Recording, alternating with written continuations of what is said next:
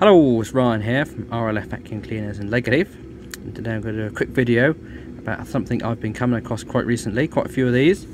Uh, these are BS1363 rewirable plugs, but as you can see it's got a plastic earth pin which if you actually read the BS1363-1 standard it states that a rewirable plug cannot have an insulated shut opening device only for molded plugs.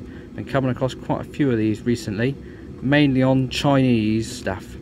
Uh, I picked up about 10 of these, or took 10 of these off and replaced them with one of these, with the conductive pin.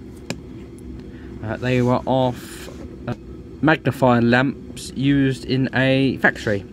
They bought a big load of these desk lights or magnifying glasses with like an LED light on the top bought a big load of them from China and they come with these dodgy plugs on. So definitely something to make you aware of that these plugs aren't UK compliant. Although, I just turn this over, it had been passed a PAT test.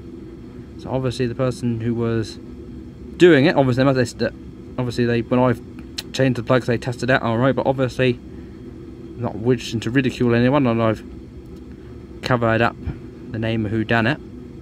But obviously they obviously didn't quite know what they were looking at. Now it's an easy thing to miss. I was a bit skeptical when I first saw them. So of course I, I I spent ages looking through the standards to see if that you could actually have a plastic pin. And it turns out you can't.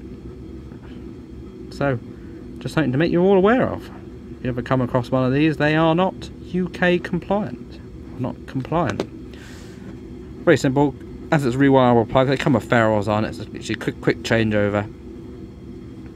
Uh, measured it out on my calipers, and the pins are. I don't know how well it shows on camera, but the pins are actually slightly smaller in width, length, and thickness compared to this one, which I bought from CPC or Pro Elec branded plugs. So obviously, another thing to make you aware of just because it looks alright doesn't necessarily mean it's alright. Right, thanks for watching, like, comment and subscribe.